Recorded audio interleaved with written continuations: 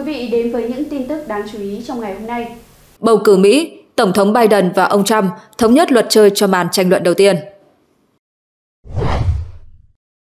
Ngày 15 tháng 6, đài CNN tiết lộ cuộc tranh luận trực tiếp đầu tiên giữa Tổng thống Joe Biden và ông Donald Trump sẽ được tổ chức vào ngày 27 tháng 6 tại thành phố Atlanta, bang Georgia, và đội ngũ hai ứng viên đã thống nhất bộ quy tắc và hình thức tranh luận. Cụ thể, cuộc tranh luận sắp tới sẽ được điều phối bởi hai người dẫn chương trình là Jack Tapper và Dana Bass, kéo dài trong khoảng 90 phút tại một trường quay không khán giả. Sẽ có quãng nghỉ giữa giờ trong cuộc tranh luận và các thành viên thuộc đội ngũ tranh cử sẽ không được tiếp xúc với ứng viên của mình trong thời gian này. CNN cho biết, Tổng thống Joe Biden và ông Donald Trump sẽ đứng trên bục phát biểu giống nhau, vị trí đứng được quyết định bằng cách tung đồng xu. Micro hai ứng viên sử dụng sẽ bị tắt tiếng trong suốt cuộc tranh luận, trừ khi đến lượt họ phát biểu. Đơn vị tổ chức chương trình cho biết, đương kim tổng thống và ứng viên Cộng hòa không được mang theo dụng cụ hỗ trợ hoặc giấy ghi chú trên bục tranh luận. Các ứng viên sẽ chỉ được phát một chai nước, một tập giấy trắng và bút viết. Hai người điều phối chương trình, được quyền sử dụng mọi công cụ sẵn có để đảm bảo cuộc tranh luận diễn ra văn minh và đúng lịch trình. Truyền thông Mỹ cho biết, việc tranh luận tại một trường quay không khán giả có thể mang lại đôi chút bất lợi cho ông Donald Trump bởi cựu Tổng thống Mỹ thường thể hiện tốt hơn khi phát biểu trước đám đông. Sau sự kiện ở Georgia, ông Biden và ông Trump sẽ tiến hành cuộc tranh luận thứ hai vào ngày 10 tháng 9. Cuộc tranh luận này sẽ do đài ABC News tổ chức. Thưa quý vị, nhóm vận động tranh cử của ứng cử viên Donald Trump đang tận dụng những video được cho là ghi lại khoảnh khắc Tổng thống Mỹ Joe Biden bước đi trong vô định khi tham dự hoạt động trong khuôn khổ hội nghị thượng đỉnh nhóm các nước công nghiệp phát triển hàng đầu thế giới G7 tại Ý. Video này đang lan truyền rất nhanh trên mạng xã hội, đến nay đã có hơn 4,7 triệu lượt xem trên mạng xã hội X. Caroline Levitt, người phát ngôn nhóm tranh cử của ông Donald Trump nói, từ Ý, Anh đến New York, hàng triệu người trên khắp thế giới thức tỉnh với tin tức về sự suy giảm nhận thức của Tổng thống Mỹ Joe Biden được thể hiện đầy đủ tại hội nghị thượng đỉnh G7. Ông Levitt nhắc đến cuộc trình diễn nhảy dù mà ông Biden tham dự vào ngày 13 tháng 6 cùng với các nhà lãnh đạo G7 khác. Đoạn video được cho là ghi lại khoảnh khắc ông Biden có những hành động bất định. Tuy nhiên, những ý kiến khác lại cho rằng đoạn video này đã bị báo New York Post chỉnh sửa có chọn lọc để gây hiểu lầm cho người xem. Đoạn video chưa chỉnh sửa cho thấy một bức tranh khác đó là một vận động viên nhảy dù vừa đáp xuống gần và Tổng thống Mỹ Joe Biden đã bước tới để giơ ngón tay cái lên bày tỏ ý khen ngợi. Thủ tướng Ý Giorgia Meloni sau đó đã nhắc ông Biden quay lại với nhóm. Để một trong những người nhảy dù trình bày thông tin vắn tắt, Andrew Bates, phó thư ký báo chí cấp cao của Nhà Trắng, viết trong bài đăng tải trên mạng xã hội X rằng họ đã sử dụng khung hình hẹp giả tạo để che giấu người xem rằng ông Biden vừa xem màn biểu diễn nhảy dù. Ông ấy đang chúc mừng một người nhảy dù và đã giơ ngón tay cái lên. Ông Andrew Bates cũng đăng tải video cho thấy ông Biden đi về phía vận động viên nhảy dù để khen ngợi anh ta. Các cuộc thăm dò cho thấy tuổi tác là một vấn đề lớn đối với cử tri trong cuộc bầu cử tổng thống năm nay đối với cả hai ứng cử viên tổng thống Mỹ. Nhưng dường như người dân có nhiều lo ngại hơn về ông Biden người đang ở tuổi 81. Một cuộc thăm dò gần đây của trường đại học Market cho thấy 79% số người được hỏi cho biết cụm từ quá già là phù hợp để mô tả ông Biden, trong khi có 54% nói như vậy về ông Donald Trump. Thưa quý vị, Tổng thống Joe Biden vừa tuyên bố sẽ không sử dụng quyền để giảm án cho con trai Hunter Biden về những tội liên quan đến sử dụng súng và ma túy. Theo hãng tin BBC, ông Biden đã đưa ra cam kết trên tại hội nghị thượng đỉnh G7 ở Italia vào chiều ngày 13 tháng 6 theo giờ địa phương. Ông Joe Biden nói thêm, tôi đã nói sẽ tuân theo quyết định của bồi thẩm đoàn, tôi sẽ làm điều đó và tôi sẽ không giảm án cho Hunter. Tổng thống Mỹ có quyền giảm án cho các bị cáo bị kết án phạm tội liên bang, thậm chí là ân xá hoặc xóa bỏ hoàn toàn bản án. Tuy nhiên, ông Joe Biden đã không sử dụng đến quyền lực này của mình. AP đưa tin, trong phiên tòa ngày 11 tháng 6, ông Hunter Biden bị kết án cả ba trọng tội liên quan đến việc mua súng lục vào năm 2018, đã khai báo gian dối trong mẫu đơn mua súng rằng ông ta không sử dụng trái phép hay nghiện ma túy. Ông Hunter Biden phải đối mặt với án tù lên tới 25 năm khi bị thẩm phán quận Mariellen Noreika của Mỹ kết án. Mặc dù với tư cách là người phạm tội lần đầu, có thể ông sẽ không bị nhận mức án tối đa và không có gì đảm bảo rằng thẩm phán sẽ đưa ông vào tù. Ngày tuyên án cũng chưa được ấn định.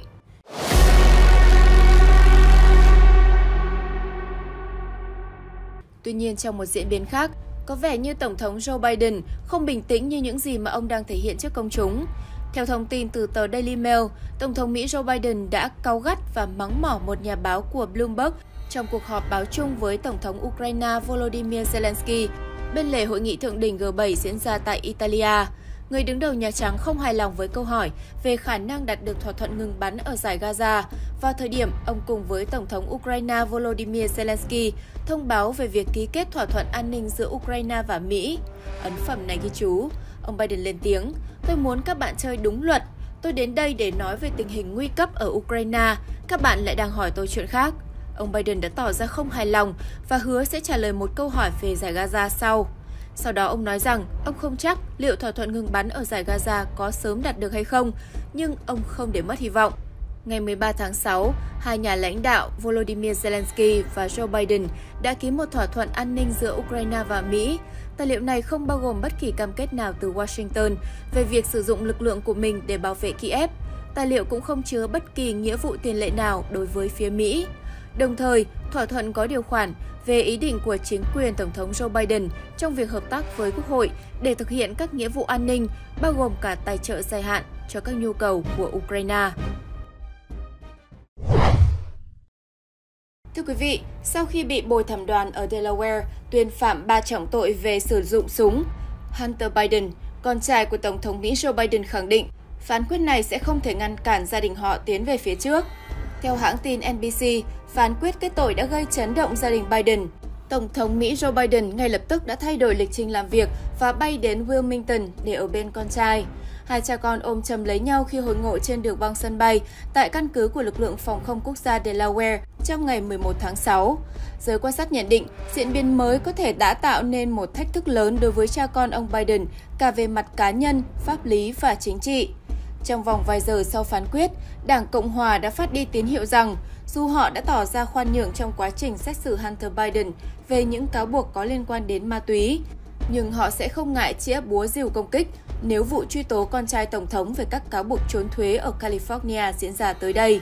Theo một số nhà phân tích, trong khi phiên tòa kết tội Hunter Biden nói dối về chứng nghiện ma túy để sở hữu trái phép vũ khí đã cho thấy góc khuất cá nhân, thì phiên tòa diễn ra ở California có thể làm lộ những thông tin gây tranh cãi về các giao dịch kinh doanh của con trai Tổng thống.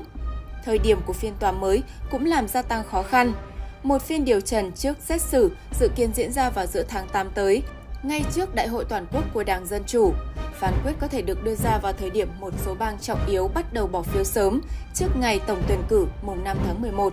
Các trợ lý và đồng minh thân cận của gia đình Biden thừa nhận vấn đề gia đình là một trong những chủ đề nhạy cảm nhất đối với những người làm việc trong Nhà Trắng và chiến dịch tranh cử. Theo họ, sự soi xét sẽ càng trở nên dữ dội hơn khi sự chú ý dồn sang phiên tòa vào tháng 9. Một cựu trợ lý cho hay, các cuộc thảo luận về ý kiến của công chúng liên quan đến gia đình Biden thường được xử lý thông qua các kênh riêng biệt và chỉ một số ít người được lựa chọn mới được phép đưa ra các tuyên bố với giới truyền thông. Tuy nhiên, một cựu quan chức Nhà Trắng cảnh báo, việc nhà Biden có xu hướng hạn chế nghiêm ngặt bình luận xung quanh các vấn đề nhạy cảm trong gia đình có thể làm phức tạp thêm thông điệp xung quanh phiên tòa lãnh đạo Nhà Trắng chỉ đưa ra những tuyên bố bằng văn bản khi bắt đầu và kết thúc phiên tòa đầu tiên chống lại con trai mình. Cả hai tuyên bố đều nhấn mạnh ông sẽ tôn trọng quy trình xét xử, giống như ông từng phát biểu khi cựu Tổng thống Mỹ Donald Trump bị kết tội hình sự ở New York vì bê bối làm giả hồ sơ kinh doanh để chi tiền che giấu mối quan hệ với ngôi sao phim người lớn Stormy Daniels trước thềm cuộc bầu cử năm 2016. Tuy nhiên, điểm giống chỉ có vậy. Tổng thống Biden và đội ngũ vận động tái tranh cử của ông gọi ông Trump là tội phạm bị kết án. Họ đã dùng việc ông Trump bị tuyên phạm 34 trọng tội ở New York để kêu gọi quyên góp tiền cho chiến dịch của ông Biden. Họ cũng lập luận đó là lý do khiến cựu tổng thống không thích hợp để trở lại nắm quyền ở Nhà Trắng thêm một nhiệm kỳ nữa. Trong khi ông Trump và các đồng minh cố gắng ràng buộc Tổng thống với các cáo buộc gian lận thuế của con trai, đội ngũ của ông Biden sẽ cố gắng tách biệt các hành vi của hai cha con. Họ cũng sẽ tìm cách nêu bật sự khác biệt giữa các cáo buộc trọng tội nhằm vào chính ứng viên Tổng thống với những cáo buộc chống lại người thân của ứng viên đang tranh cử. Bill Russell, người từng làm việc cho ông Biden thời còn là phó tổng thống và cho chiến dịch tranh cử tổng thống năm 2020 tin rằng dù vụ kết tội là điều tồi tệ đối với Hunter Biden và gia đình Biden, nhưng họ sẽ luôn sát cánh, cùng nhau vượt qua như từng trải qua các bi kịch trước đây. Chủ tịch Ủy ban Giám sát Hạ viện James Comer gọi phán quyết hôm 11 tháng 6 là một bước tiến tới trách nhiệm giải trình. Song, nghị sĩ này vẫn cáo buộc Bộ Tư pháp tiếp tục bao che cho Tổng thống Biden. Tuần trước, ông Comer và các nhà lập pháp Đảng Cộng hòa hàng đầu khác đã gửi kiến nghị tới Bộ Tư pháp yêu cầu truy tố Hunter Biden và em trai của Tổng thống là James Biden vì những tuyên bố sai sự thật trước Quốc hội Mỹ. Với các thành viên Đảng Dân Chủ, câu hỏi quan trọng hơn có thể là vụ kết tội Hunter Biden đã tăng thêm gánh nặng ra sao cho Tổng thống khi ông chuẩn bị tham gia tranh luận trực tiếp với đối thủ trong hai tuần nữa. Sự kiện có thể là bước ngoặt trong chiến dịch tái chạy đua vào Nhà Trắng của ông. Sự không chắc chắn về việc liệu Hunter Biden có phải lĩnh án tù trong cả hai trường hợp hay không đang đè nặng lên gia đình Tổng thống. Các tội danh trong vụ truy tố ở Delaware có tổng mức phạt tối đa là 25 năm tù giam cùng khoản tiền phạt lên tới 750.000 đô la Mỹ. Song theo các chuyên gia, Hunter Biden có thể được nhận bản án nhẹ hơn nhiều so với mức tối đa vì là người phạm tội lần đầu và các tội không liên quan đến bạo lực. Những người ủng hộ quả quyết Việc ông Biden cam kết tôn trọng phán quyết của tòa, không can thiệp hay ân xá cho con trai là bằng chứng cho thấy Tổng thống quan tâm hơn đến việc bảo vệ đất nước. Một nguồn tin thân cận cũng khẳng định, gia đình Tổng thống Biden quan tâm sâu sắc đến sự phục vụ của họ dành cho nước Mỹ, luôn đoàn kết lại với nhau và không có gì có thể ngăn cản họ. Nội dung vừa rồi đã kết thúc bản tin của chúng tôi.